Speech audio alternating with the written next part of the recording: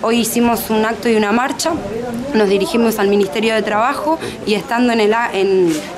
estando en el Ministerio de, Trabajo haciendo un acto eh, adentro en las instalaciones, la, policía nos desalojó brutalmente y bueno, en ese sentido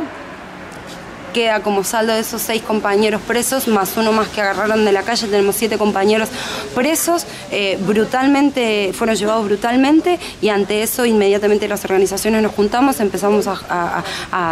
juntar las adhesiones de los distintos sectores y a convocar una conferencia de prensa y ahora lo que, lo que vamos a hacer después de la difusión mediática es generar un acto frente a la comisaría en repudio a este acto de represión terrible e innecesario, eh, brutal y que va en contra de todos los derechos y de, esta situación tan dolorosa para todo el pueblo misionero que es la muerte de estos compañeros. En el marco de eso la policía nos reprimió y bueno, vamos a, seguir organizándonos, vamos a seguir luchando y hoy a las 5 y media de la tarde vamos a estar llevando un acto en la puerta de, de la comisaría primera de la localidad de Posadas, nos vamos a concentrar a las 17 horas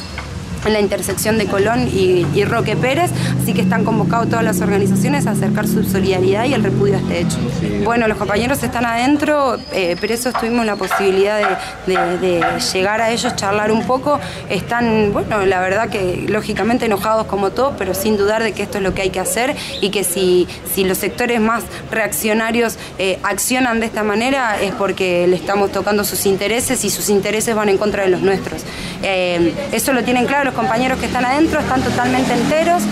y, convencidos de que esto es lo que,